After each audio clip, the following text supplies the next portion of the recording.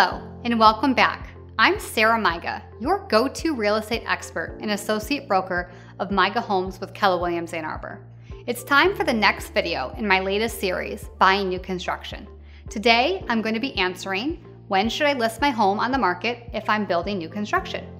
As I'm sure you guessed by the title, this episode is meant for those that currently own a home and plan or need to sell it in order to close on their new build. One of the hardest and most nerve wracking questions to plan for is when to list your home for sale. And I have to start by saying that the pointers or techniques in this video are not a one size fits all equation. There will always be exceptions to the guidelines provided. However, the recommendations will work for about 80% of current homeowners. So I hope that you find this helpful. Now, let's begin. The first thing you need to know when deciding the right time to list your property for sale is your new home's estimated completion date.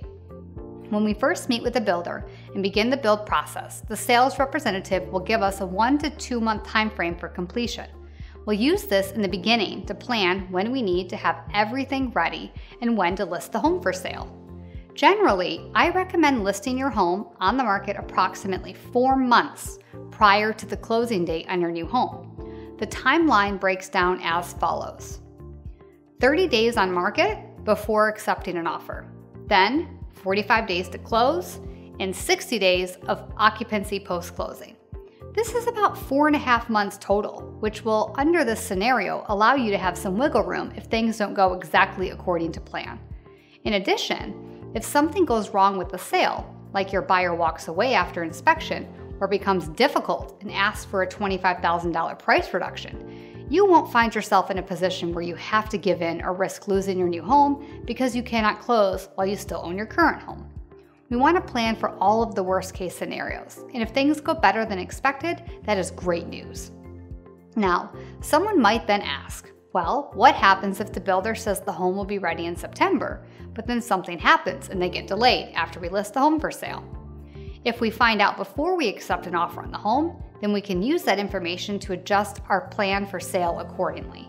We will let buyers know our timeline and hope that we can find a buyer who can accommodate. If not, then you will need to make a decision whether or not to proceed with selling the home.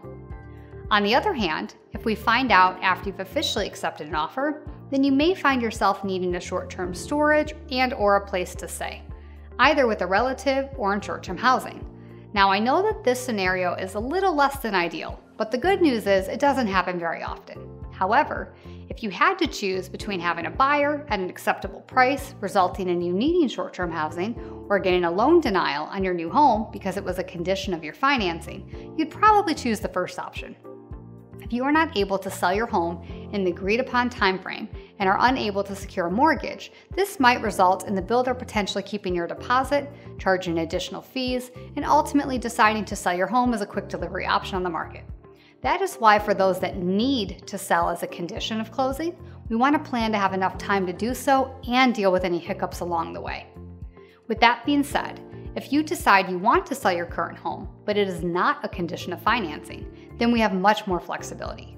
We could list the home before or after you close on the new home without ramifications on the build side. It comes down to what you are comfortable with and able to afford. Another consideration I would like to point out is that if your home is in a market that is a bit slower, has a limited number of potential buyers because of affordability or its custom features, the recommendations for timeline may vary widely for those individuals. If you need to net a certain amount of money out of the home and it is unclear whether the market will produce it or if a third party appraiser will determine the value you need to be there based on a lack of comparable home sales, then we may need to decide together. The most important thing is to ensure the home sells at an acceptable price and may decide to list sooner even if it means a double move. This has been the scenario with many of my sellers as I specialize in custom, high end, and unique properties. But don't worry, I can handle it either way. I hope you found today's episode helpful and insightful in how to best proceed with selling your home when building a new construction property.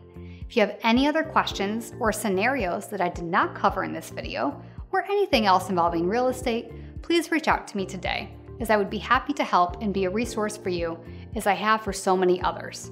In addition, if you think you're within a year of making a move, we should set up a consultation today to start creating your custom moving plan. You can reach me at the information below.